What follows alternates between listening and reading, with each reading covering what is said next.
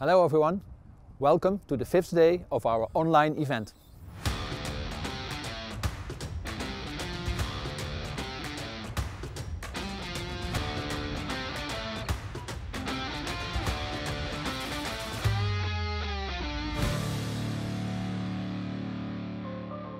What's the future of packaging? I'm Remy Notten, Commercial Director at Dijkstra Plastics and I want to share with you our ideas about the future of packaging and especially the future of plastic packaging.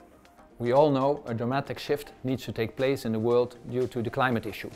In 30 years time we will no longer use crude oil as the basis for plastics. That's the essence of the Paris Climate Accord. We want to reduce the output of carbon dioxide and reduce the emission of greenhouse gases. Therefore, circularity of packaging material will be the only way forward. Incineration and landfill of packaging waste must be ended. And waste, as we know today, will no longer exist. After it's used, all packaging material will come back in the cycle and it will be the new basis for new packaging. This means that we need to rethink how to organize that plastic waste comes back in the cycle. We work on teams like reduce, reuse and recycling. And for each application and each customer, the solution might be different. We look at ways how to organize that the waste comes back as raw material and is the basis for new packaging material. In order to share our ideas and develop new ways, we have become a member of the Dutch Plastics Pact and the European Plastics Pact.